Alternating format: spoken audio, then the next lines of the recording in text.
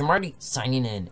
Hey, my pro allies. Today we're going to be doing some troubleshooting, and the error soon to be all having today is where we've compiled our game to an executable, but then when we actually go and run that executable, and we double click on it, and it seems like everything's going well, and then we click play, then we get a little error message, boom, just that fast. So here's how we can figure out what the error message is so we can do something to solve it. First thing we want to do is we want to search up for OBS Studio. So basically OBS Studio is, it's a free recording software and I use it a lot and it works 100% great for me. OBS Studio and download. So we're going to want to go with one that has the HTTPS right there, that S, very important. We're going to click on that link and that'll take us to the OBS download page. So that'll take this page and then you're going to select your operating system, whether you're Apple, or Linux or Windows. Oh, Linux. I love Linux, but but I'm using Windows 10. So again, just go with whatever version you have. So then I'm going to click download the installer.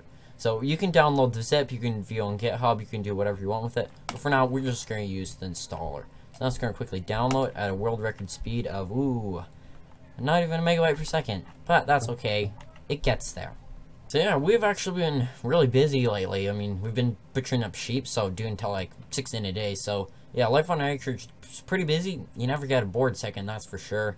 Okay, so the download's finished. So you can find that located under this PC. So you can just scroll all the way down to the bottom.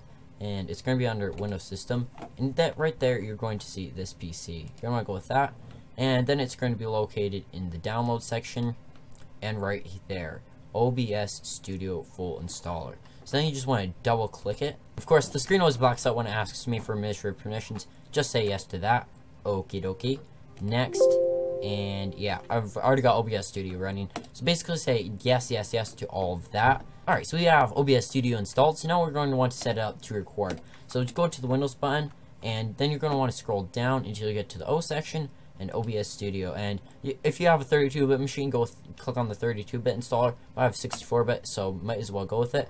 And it's just telling me that it's running already, which is fine. I can launch it anyways. So then, then I'll open up you up to this. I'm not sure how this will go because I'm already using OBS to record, so I don't. But anyways, you're going to click on your settings, and inside your settings, you're going to click video. So that's right there.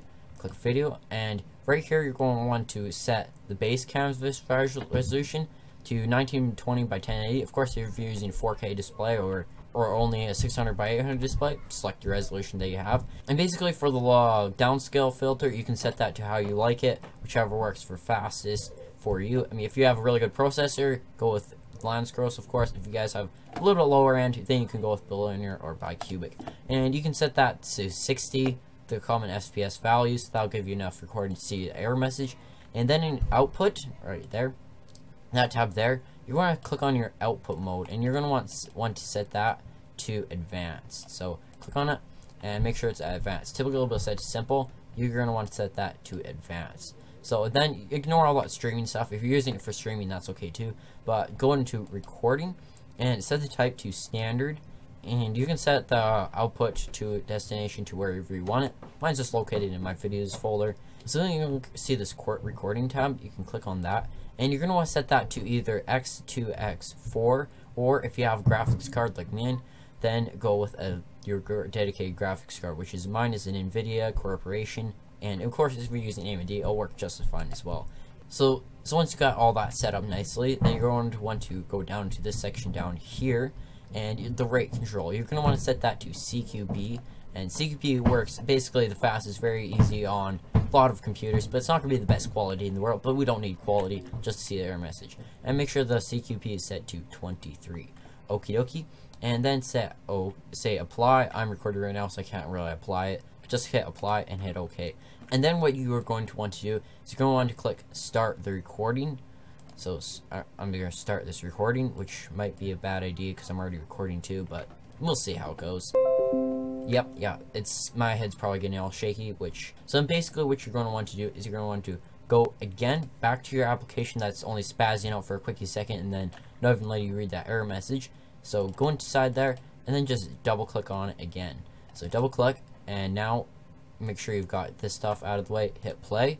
Now it's recorded just enough so you can pause the video later and see what the error message is.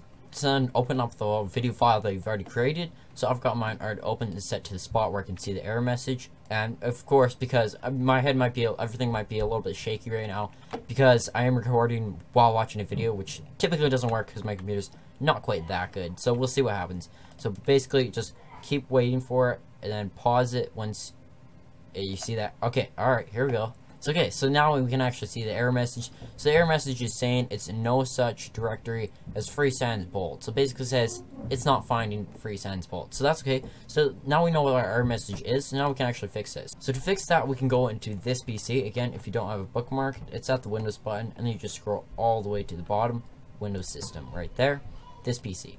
And inside this PC, you're going to want to go into the C drive and then you'll see a, basically a folder called Windows. This might be a little different on your on Windows or Mac.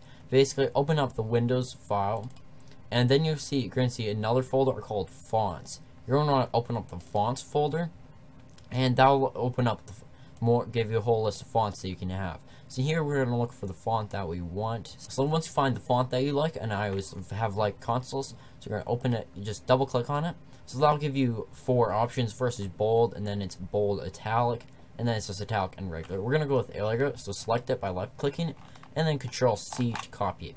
Now that we've got copied, we can go into the folder where we want it, and inside data, we're going to create a new folder. So new, so just right-click, new, and then folder. And we're going to name this here fonts. There we go. And now inside fonts, we're going to finally paste console. So be sure you remember what type it is. So if you right-click on it, and then you'll see properties at the bottom click that properties and this will tell you what type of file it is so it's consola.ttf so that's what we're going to go with so just remember consola.ttf or whatever font you're using so we can go back back so we're just going to change the font a little bit in the tubby game so just right click on the python file and edit with idle so and then what we're going to want to do is we're going to want to scroll down go into where we have it loading the font right now so let's see where we've got it right here. So now we just want to specify the full path to the full font file. So this is going to be located in data and then add a forward slash and then it's going to be located in fonts as well. Add another forward slash and it was console a dot ttf. So back, not not insert backspace or go backspace and con consola dot ttf. So now if you hit F5 we should be error free and it should be able to read and write it and find it where it is. And yes, it is reading and writing where it is. So now if we, we can recompile our program, and all we have to do is just, again, double click on the Windows batch file, which is going to be build. So double click on that. Then it's going to run, really quickly run through it all. And it's just going to basically recompile it. And then this way we can copy the data file back into it. So it's just saying it's all finished and you can continue. So we just want to copy that data file, Control C into build, into exe, Windows 30, 64-bit, copy and then paste it in there. And it's going to give you this little error message saying, uh, you already got a file in there. So that's okay, we can replace all that. Okie dokie. And now if we double click on our application, program, or whatever it is they call it these days, double click on it. And now we hit play. Let's zoom out a little. Play. And yeah, so we have no errors whatsoever. So this way it's not dependent on if the guy has Pygame installed or if he has that typical font onto his computer, it's going to work no matter what because you have the font file into the data file. So that's working 100% good to go. So I hope you guys all enjoyed this tutorial. If you guys have any questions or comments, leave that down in the comment section. And I'll be seeing you next video. Agent Marty out.